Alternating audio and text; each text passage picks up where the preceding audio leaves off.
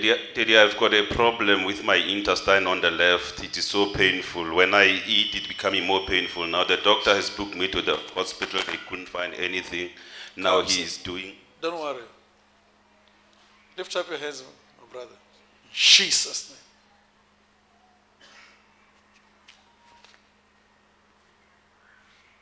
I'm canceling what doctor want to do on you. You are free. Jesus' name. Touch there. In Jesus' name. Go, you come back with a testimony. Things in the name of Jesus. madume ka lebitso la jesu Uh, I had a terrible head, I mean, stomach ache for a few months. ne ke na le bothata ba ka mo mpeng dikgwedi tše mmalwa And I went to the doctor.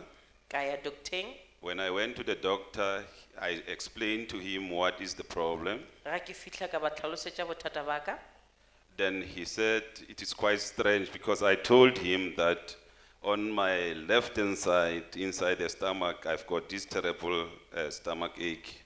ke And- ba re le ko nna ba re i impossible ka gore ke ba botse gore letlhakoreng la ka la ngele ka rampa ke na le pain And uh, this stomach ache, when I eat, every time I have to go to the loo.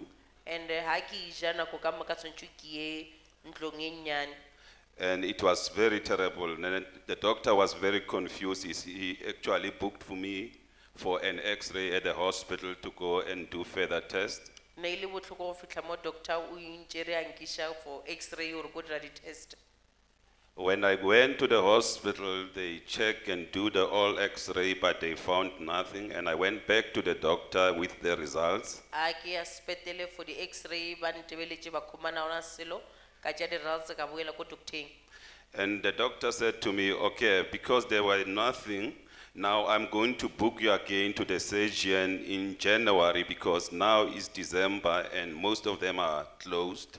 A re ko nna ka gore a se ba bone selo ke tla o iša ko surgeon ka january ka jale ba tswaletše Because you need to go and do the so-called colono- colonoscopy. ba re tshwanetse re dia colonoscopy Then after that, I said, hey, this is gonna be difficult. I came to the church on Wednesday. ka re e tlo ba boima then ka tla kerekeng ka laboraro When I was at the church, uh, the, the, the daddy called people who are sick, a ke le mo kerekeng dedi ba bitša batho ba ba lwalang. And I came through as well. ka tla le nna.